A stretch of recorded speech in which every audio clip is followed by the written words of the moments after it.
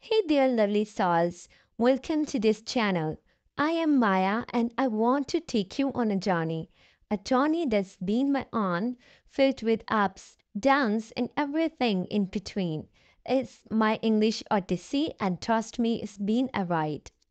Growing up, English felt like this giant mountain I had to climb. I stumbled over words, got tangled in grammar, and felt like giving up more times than I can count.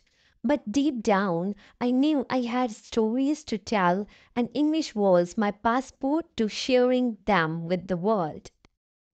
So I rolled up my sleeves and dove headfirst into the world of English literature.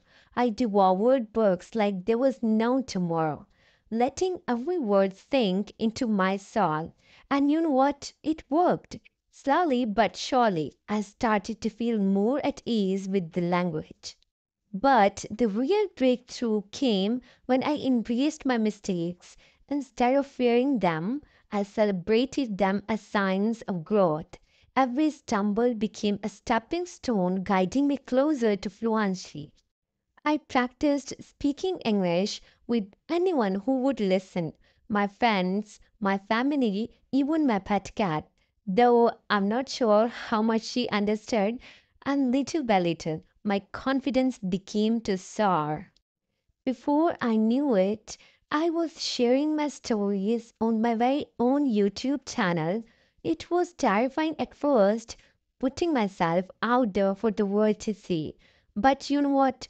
It was also exhilarating. Each video was a triumph a testament to how far I would come on this incredible journey. So here I am, standing before you today, a storyteller, a dreamer, and yes, an English language enthusiast. My journey is far from over, but one thing's for sure I'm no longer afraid to climb that mountain, because now I know that every stumble, every challenge is just another chapter in my story of success and I can't wait to see where it takes me next.